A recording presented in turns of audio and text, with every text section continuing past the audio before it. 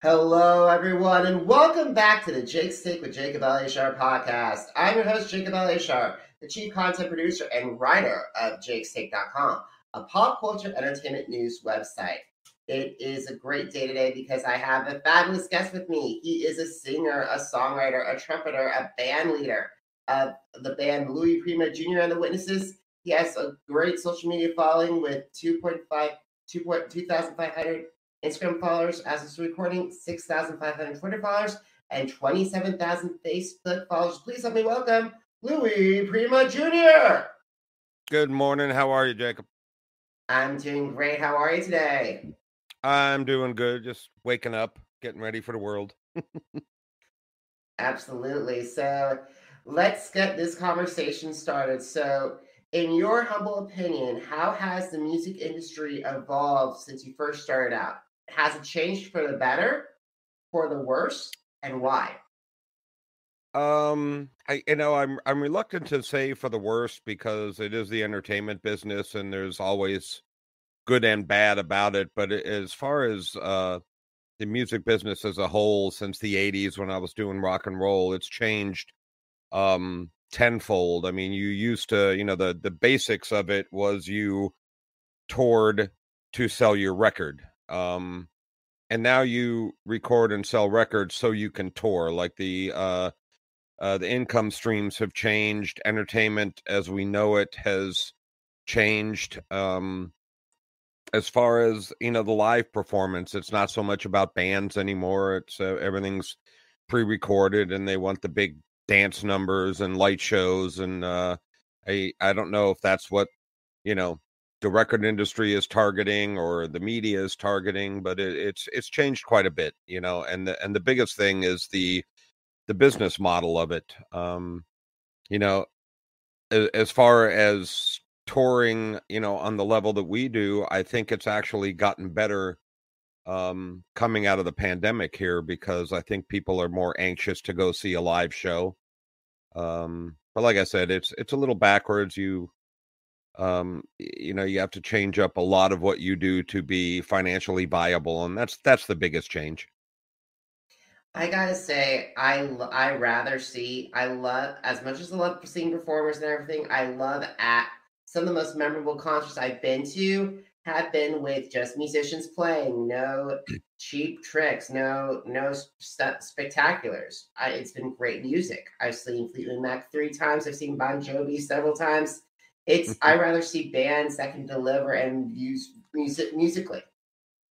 Well, it's I'm like that too. I mean, uh, you know, I I grew up in with probably one of the most entertaining live acts as my parents um as far as entertainment and I think what's happened over the years is that the entertainment value of the band has gone away. Uh, I think musicians um forgot how to entertain up on stage and it became about standing behind a microphone and playing a chord and ooh look at me instead of look at the crowd and you're there for the crowd. I think that's why a lot of acts today have the dance numbers and and the light shows because people you know if you're going out and you're spending your money and want to see a show you just don't want to hear music you have to see it as well. And you know it's it's cheaper and easier for a producer to hit play on the MacBook and you know record at the cheapest humanly possible and mm-hmm. let the you know then you got to go out and hire the dancers and you know no no disrespect to the people that are out there doing it but it not my cup of tea and i a little part of me uh, doesn't understand why the world is so into that i don't know why either but you did mention it you come from a musical family your father was the legendary tenor Louis Prima, who was personally invited by Frank Sinatra to perform at the President Kennedy's inauguration. And he was also the voice, he also voiced the scene stealing King Louis in Disney's The Jungle Book. So, what were some of the lessons that you learned from him and your mom that helped you grow as a performer? I the biggest thing, you know, I learned from my father is I think humility. Um, he took great joy in dragging me everywhere when I was little. Uh, you know, anytime he was in town when we were either living in New Orleans or Vegas, anytime he went out, he drug me with him. And I got to see how he treated people on a daily basis, not just surrounding the show. And he was never too busy to stop and talk to anybody that wanted to come up and say hi. Um, you know, just and anybody, you know, fans, uh, employees of shops, celebrities that we'd come across. It was, um, you know, he he treated people as if they were his friends, uh, including after the show. You know, and I think it's one of the things that people like about us when we tour is that immediately after the show, uh, myself and then I'm joined by the whole band, you know, mingle with the crowd to say hi and take pictures and share stories. I, I think that's part of um, keeping in tune with the with the audience and understanding that it's it should be a familial thing between the artist and the and the crowd. So I you know I learned a lot from that and the rest is just seeing what he did and what my mom did on stage you learn um not not by forcing yourself to learn but just by seeing and being around it that's what entertainment is I love hearing that. I love the hearing hearing the story of American crowd because there's a lot of people. I've noticed a lot of artists that I've watched over the years and I've interacted with. They do after the show. They do meet with people. They do talk with that, and I and you have that connection with them. And I and I really enjoy those types of artists who do that. Like I understand, like when they're when they're like like superstar level. That's a pro. That could be is that could be a complex situation like that's what I love about people. It you know, it when it gets to a superstar level, you know, I've I've got friends at that level, and it, it's you know it's a little cumbersome when you can't walk out the house, um, and you you know there there has to be a respect level where you give people space, but I also don't believe in the artist charging. You know, there, there's there's people out there that do the meet and greet for two thousand dollars, you can come back to stage to see Miley Cyrus, and it's like, uh, you know, at, at some point, um, I think I think that's robbing the fan. It's it's uh, I don't even know how to explain it. There's a there's a way to do it. You know, when you go see Aerosmith backstage before a show, you know, Steven Tyler and Joe Perry are sitting in a room with a line of 50 people who have won tickets on a radio station or won the chance to see them meet them backstage you know there's no there's no money exchanged. It's just a, it's a bond between artist and fan and i i've never understood the unwillingness to do that. I think you have to do it even at the top level and those that aren't are um, cheating cheating the crowd so to speak. I have to agree with you on that one so, what have been some of the challenges that you faced throughout your career, and how have you overcome those obstacles? oh, biggest challenge is the business itself. You know, it's uh, I did you know rock and roll for ten years in the '80s and '90s, and the business end of it drove me from the business. Um, you know, there, there there's a learning curve and a learning process, and the business is not a fun business to be in and you've got to be smart and you have to learn things and and, and be well read on laws and and things in order to navigate the contractual world of the music business. Um but once you you know uh, finding the right team and people around you management and agent and agents that believe in you and na- help navigate that with you uh is the biggest help. Uh, you know the other challenges, the little JR at the end of my name. You know, there's uh it's people would probably view it as a positive that doors are flying open for me as I roam around. And it's just not the case. You know, I have the largest shoes in entertainment to fill. And if I had a dollar for everybody that said, well, he's not his father, um, I'd be rich. Uh, it's, I'm not trying to be my father. And, you know, it's, it's it's a lucky person who has made it as a offspring of a famous person and there's few and far between that have managed to stay true to themselves in their careers and been successful uh, especially when you share the name you know it's uh when people come to see me i think there's a good percentage that want to see my father and no matter what I do on stage, we can be the most entertaining band in the world, which I think we are. Um, you know, we we can be 100% perfect, and that person's just not going to be happy because it's not what they thought they were getting.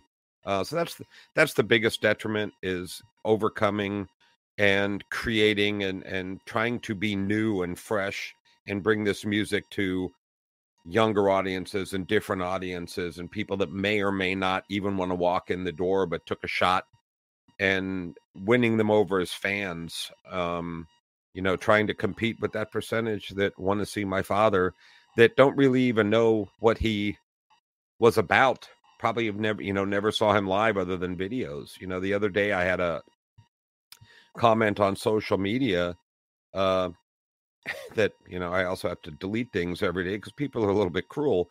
But it, it, this guy went on and on about how I don't have my father's voice. I'm not as low, and I, I don't have the low voice, and I sing too high, and and blah blah blah blah blah. And I I you know I don't respond, but I wanted to respond and go. You know, my father sang in a higher key than me. It's um it's it's up to the perception and winning those people over is the big challenge. And I think for the most part, the band and I do a great job of winning people onto our side and and you move on. You can't please everybody, you know?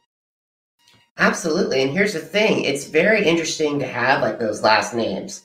And I constantly think about the people like Michael Jackson's kids and then with, with being Ricardo's on like uh, Lucie Arnaz and Ricky and, and Desi Arnaz Jr. have thought of having those last names?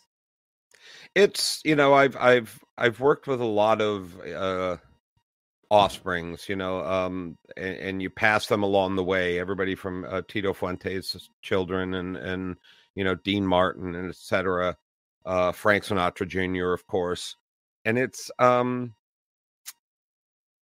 I don't know. It's it's difficult to cross the board, and and it's you have to view it as a as a good thing and as as a challenge you know i've never i have never uh, you know when you tell people i did rock and roll for 10 years the first question is why didn't you just start doing your father's music? And did you were you rebelling against it? And and the answer is absolutely not. I love my father's music you know when i was a kid i loved it. I think it's the most brilliant and challenging music to play and perform and I've always loved it. I it, but I'm a you know I'm a rock and roll fan, and you got to do do what your friends are doing, you know.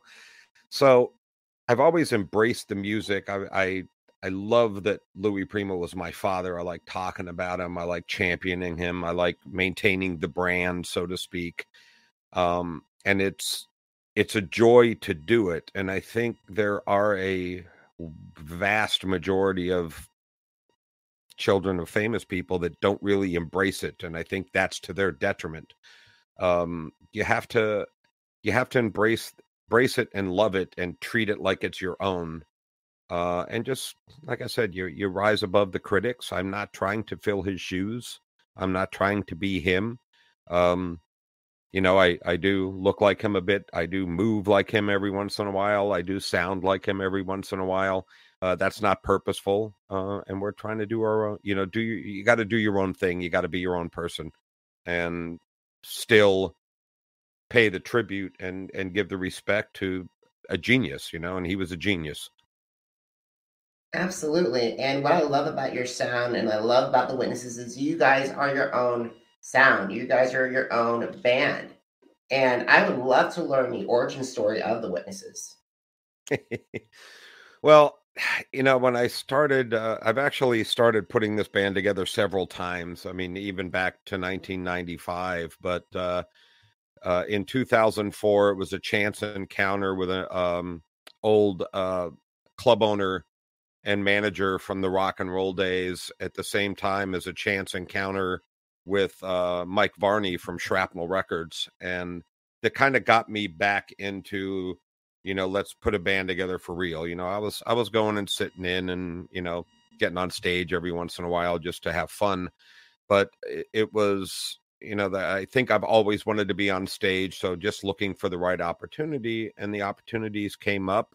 But then you go, where am I going to get a band? So it's you know there was several years starting in 2004 uh, several years of just going through the chart readers and the pro guys, you know, really test super talented people that have absolutely no interest in being a band. They want to show up, they want to read that chart, they want to get their paycheck and go home. Uh, nothing against them, not what I wanted.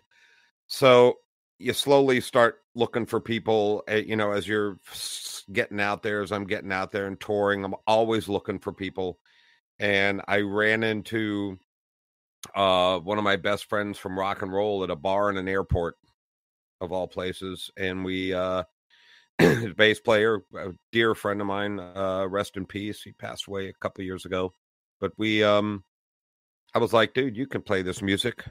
Come be in the band. Let come see what it's about and tell me what you think. And uh, he jumped on board, and you know, I used him to let's go find the musicians. Who's out there? Who have you played with? You know he's been a touring musician his whole life. Let's go find people.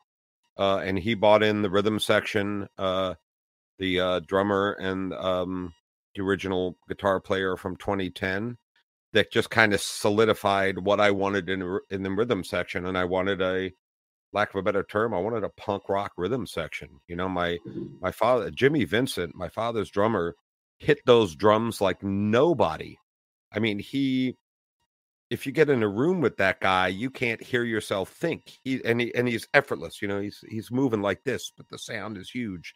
And I wanted that, you know, I need aggression in the music because because my father's music is aggression. Um so he bought in actually bought in the keyboard player first, then we found those two and we were playing in uh uh Los Angeles at a place called Dragonfly uh, actually, it's going to be t- uh, 12 years ago next month.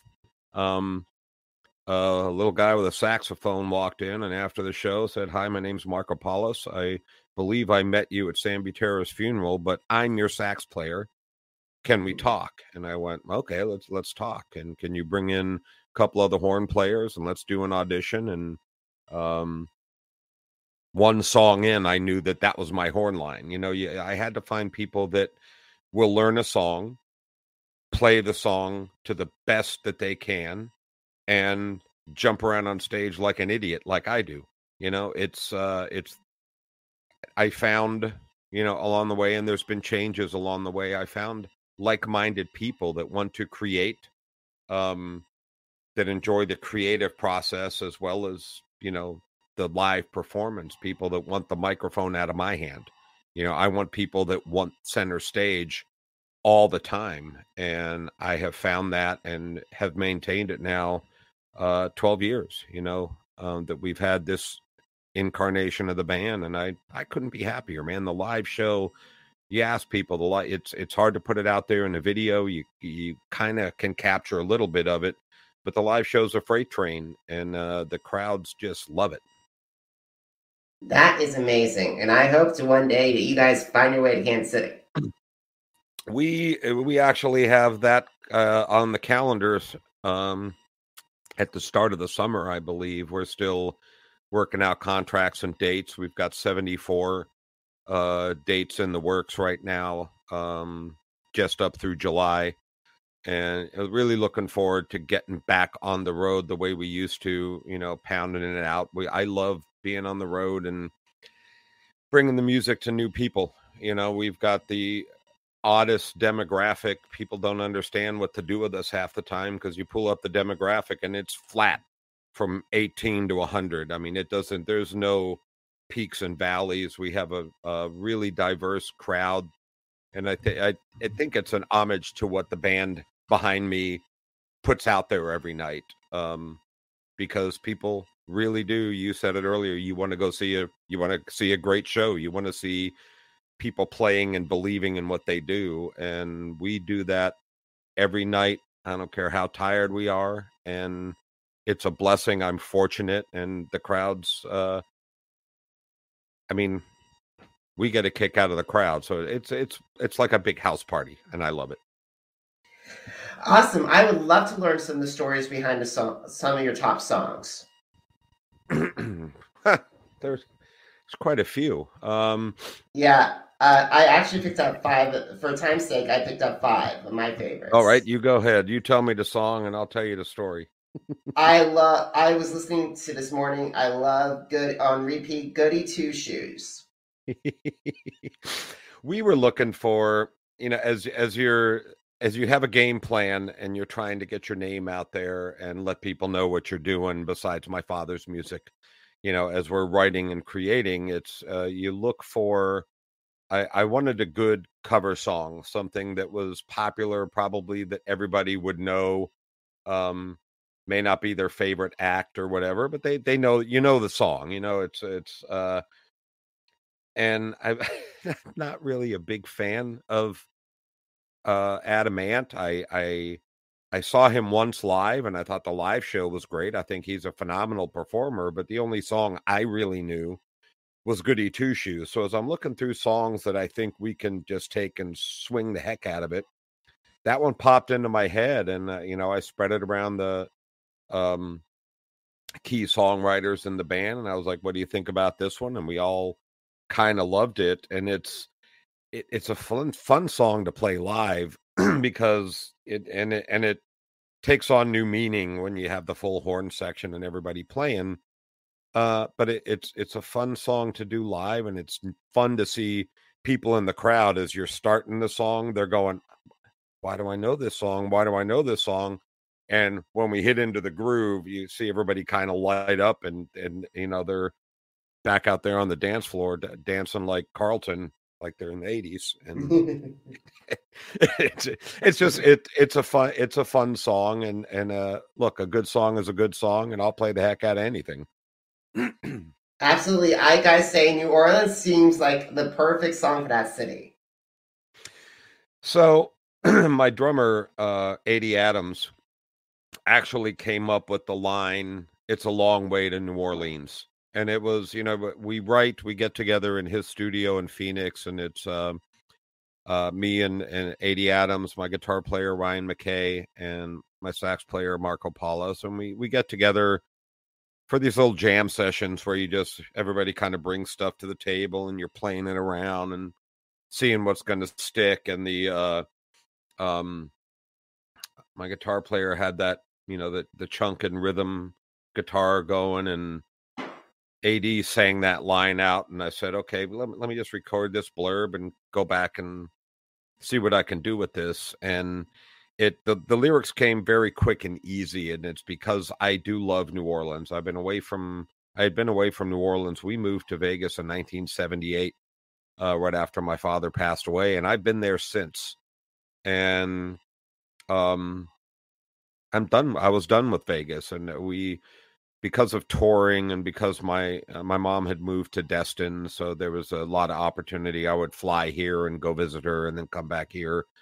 Um, and there's just a love for this town and a love for the people and the atmosphere and the, and the the the food and the lights and the revelry and the love of music and and the friendships that you just you know when you when you leave every time you leave i'm like why don't i just turn this plane around and stay and that's kind of what the song is the song is about you know it it's about every time you leave it's like I'll be back tomorrow. For next chance I get, I'm going to be back in New Orleans. You just wait here for me, and New Orleans does, and you step right in, and it, it's like you were never gone. And that you know the the the song lyrically is that there are a hundred little Easter eggs in that song to friends that you know fits in the song perfectly, but only that guy knows what that means, you know.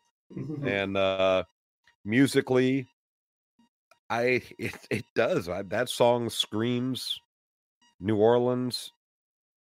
I I when we kick into the Dixieland um after the last chorus, you know, as we we sing the last chorus out of the solo section and everybody's wailing, I'm like, that's I, that's New Orleans, and uh, you know, sorry, sorry, I had to say New Orleans. It fits into the song.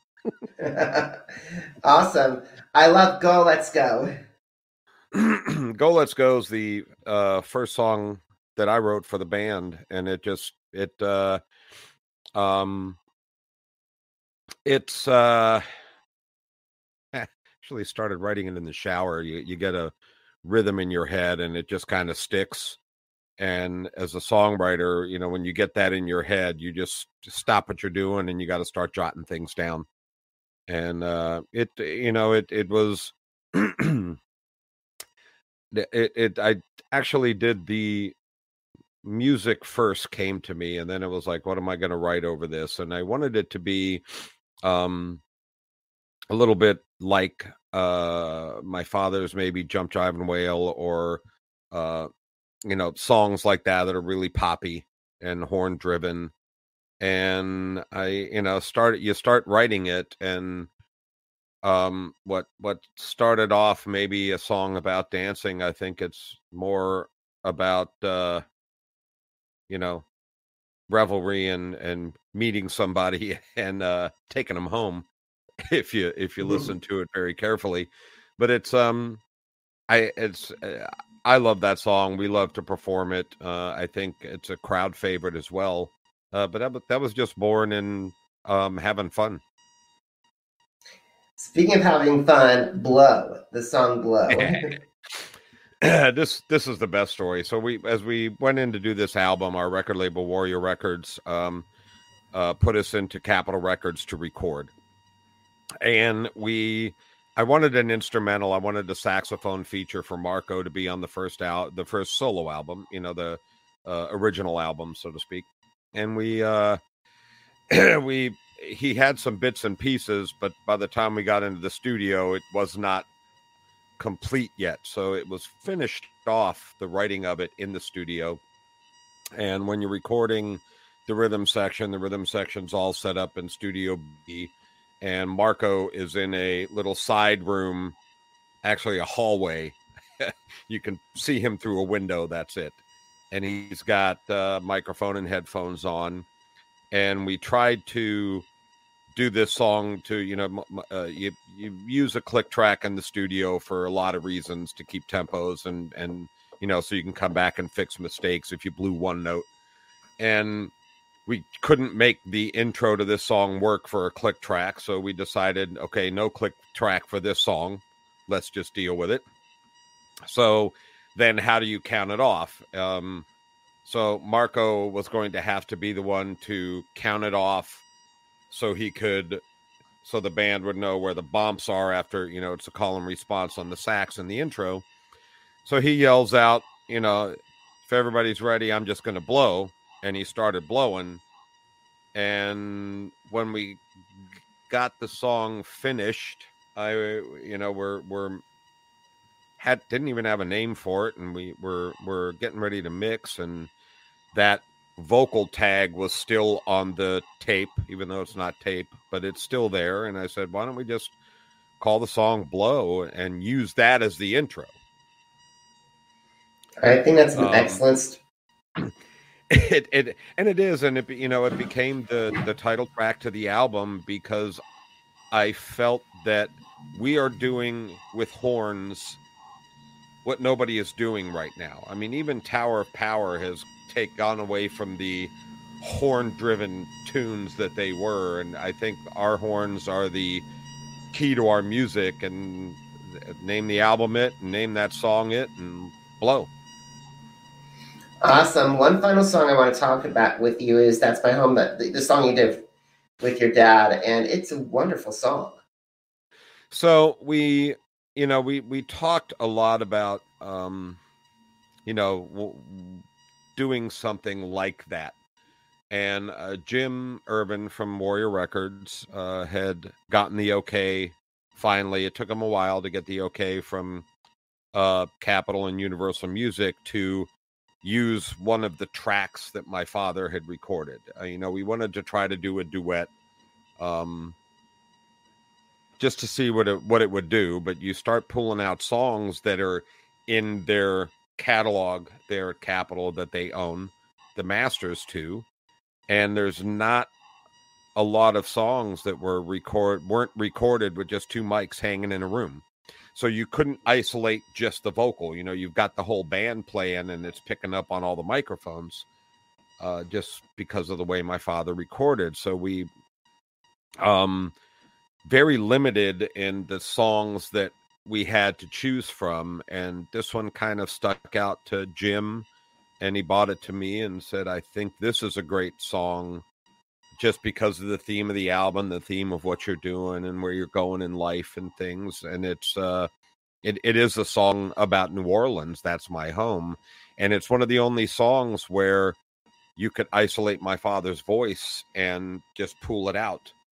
Um, so we, the band actually played over the actual recording. It's my band playing, and we, me and my father, trade back and forth vocals, and we trade back and forth playing the trumpet. And uh, it you know, it, it became a lot of tearjerker moments for the band and I as we're playing along, and you know, as uh, you know, as you you know, sitting back on the drums and he's playing and realizing, oh my God, I'm suddenly I'm playing with the Louis Prima. Uh, it became neat and and kind of a uh, interesting little tune and a fun tune. It's it's I, I, think you can hear the similarities. you can definitely tell we're related uh, in voice and in trumpet playing style and things. Uh, and we we enjoyed it so much that I believe on this album that we're sitting on right now. Uh, I don't know if I'm allowed to say it, but we're going to do it again with another song, uh, a little different, but uh, I, I, think it's it. I think it's neat, and it gives the fans some uh, an oh my gosh moment as well. Awesome! I cannot wait to hear that. So we got to start winding down our conversation. So, yep. who are your who are the singers, the songwriters, producers, musicians that are on the Dream collaborations, and how would they impact the Witnesses sound? I I would love to sit in a room. I mean, you, you know, you can't do it now, but I would love to sit in a room and write with Malcolm and Angus Young from ACDC. I mean, that was my favorite band as a kid and I really enjoy the way they write and and the the the blues aspects of their music. I think it's um I think it's brilliant how they work off of each other and it's uh my my youngest son will always complain everything sounds alike and i'm like well that's the beauty of it it's accessible you know it's uh it's accessible but difficult um so to to sit in with them and write I think would be neat. And to sit in, I, I don't know. I don't know if there's. I think I've been spoiled by with Jim Irvin from Warrior Records. Uh, he, you know, we produce the albums, but him in the studio as a producer, it's amazing to watch him work uh, and deal with ten instruments all trying to vie for space. Um, so I think any any any kind of dream collaboration has kind of gone out the window as far as production goes. Uh, and I would love, you know, I would love to sit down with my father and write a song. You know, I wish that could have happened one day. I mean, he wrote "Sing, Sing, Sing." It's the, the biggest song in the world, and uh, you know what? I, I would love to hear how his mind worked and see if it's similar to mine when we're writing.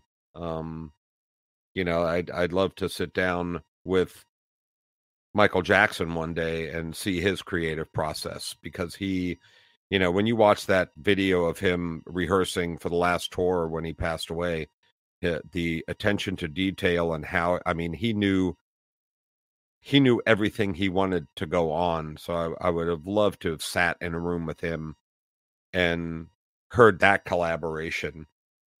And uh you know, Willie Nelson. Yeah. Oh, Can absolutely. You, I mean, look, we when we write the four of us that write the songs for us are four completely different people. We have, you know, hundreds of years of of experience and tastes and and likes and dislikes that we bring to the table and i think that's what gives us a unique sound. Um you know so i you know collaboration i would love to collaborate with people that aren't this style. I would love for snoop dogg to walk in one day and go that's a, what what could you do with this? You know and and you sit and you work something out and i you know i enjoy the creative process so you know give me anybody that's uh musical. You know, you, you can go through the Aerosmiths, you can go through, you know, put Keith Richards in a, in a room with me. Let me let me see what that sounds like. You know, it's it's it's part of the creative process, and I think that I think as a band, no matter what we do or who we collaborate with, we're going to sound like us, and that person that comes in, like Jim Urban or the engineer David Dominguez that works on our music, you know, they they add their touch to it to make it better and uh yeah. That those are all incredible collaborations. I love i love the michael jackson one this is it. I love that film and i was like man those concerts would have been epic oh my god i watched that so many times over and over again. I just i enjoy watching him work. He uh you know that that man you know to his to his ultimate detriment uh, uh, was a workaholic when it came to the music and the production and the dancing and and the show and he's uh that that was a true genius you know? Prince that's another one. Wow i oh, would yeah. have loved to work with him that would have been an amazing one to see you and prince yeah. work together i actually uh we one of my early early dates in las vegas uh he had the room at the uh, rio hotel um, for quite some time. Had the whole downstairs colored purple and had a DJ booth. Um, and I got to sit in and watch him rehearse his show several times. And he's a that's that's an interesting cat. That that guy watching him work was magical. Uh, and I got to be in the room for it. So that was uh, that that'll that'll remain near and dear to my heart watching watching him work because the you know there's um for as much fun as we're having on stage and as much fun as we have in life as entertainers, not just me and my band, it's the, the people that are out there and can be successful at this, the amount of work and dedication that goes into it. I don't know if, you know, the, the, I, I don't know if everybody realizes the, the 100% dedication and work you have to put in on your craft, honing it and being able to deliver it at the drop of a hat, uh, no matter what the circumstances. It's uh, you know that's a, we we we are a special breed. Uh, the people I perform with are a special breed that are able to get up there and do that, and uh, I, it's what drives us. It what it's what makes us a little weird, but it's uh, it's it's it's I I can't see myself doing anything else, and I know the rest of the band feels the same way. And I'm sure most artists you're going to come across will say the exact same thing. Awesome. So, our, the last question: Are you ready for it? Yep. Where can my audience find your music and find and connect with you? It is Louis Prima jr.com. That's L O U I S P R I M A J R.com. It's a simple website. You can see videos there. There's links to all the music, our our our two CDs that we have out, and our Christmas single that we put out this year um, are available anywhere you get music: iTunes, Amazon, record stores. Uh, you can go to the website and buy directly uh, from the record label as well. Uh, you'll find tour dates on there. There's a little button that says track. Hit that track button, fill out the information, and when we're coming to your town, you'll get a little email that tells you so, so you don't miss out on the live show. Because um, it truly is a live show, and we've got a new album that we've been sitting on for since the beginning of the pandemic. We were in Capitol Records recording album number three. I'm chomping at the bit to get this out. We stuck the Christmas tune we recorded out there, Hey Skinny Santa. That's out there for you to download right now. Uh, it will be a bonus track on the album as well. And we hope to be getting this album out within the next month or two, maybe three months, as soon as the world gets back to normal. And I'm excited to be bringing new music. But louisprimajr.com links to everything, all the social media, all the videos, everything's right there. And if you haven't seen a live show, come see a live show. I guarantee you a good time. All righty. so guy, alright, alrighty, guys. If you missed an episode of the Jake's Take with Jacob Elyachar podcast, visit our Apple Podcast, Deezer, Google Podcast, Podcast Addict, Spotify, and Spreaker. It is Jake's Take with Jacob Elyachar, J A C O B E L Y A C H A R. Are you on social media? Because I'm on social media too. Facebook, Instagram, Twitter, and YouTube. Jacob Elyachar, J A C O B E L Y A C H A R. And Louis, just to let you know, the JakesTake.com is the place that you find articles, interviews, and reviews. This is it's it's getting ready to celebrate its 11th anniversary in August. Wow. Right on. Happy anniversary. Thank you so much, Louis. And guys, please consider heading to PayPal to keep JakesTake.com and my platform up and running. I am the one editing and auditing, editing, autoing, and actually sending out requests. So please, if you if you're financially able to, please consider. If not, a great social media like and follow would be great. Louis, it was a privilege to talk with you. I truly enjoyed yeah. our time. A lot of fun. I appreciate you having me. Thanks a hundred million times. All right, Louis. Thank you so much, guys. Thank you so much for listening, and thank you so much for watching. For watching us on YouTube, have a great one. Bye. Bye.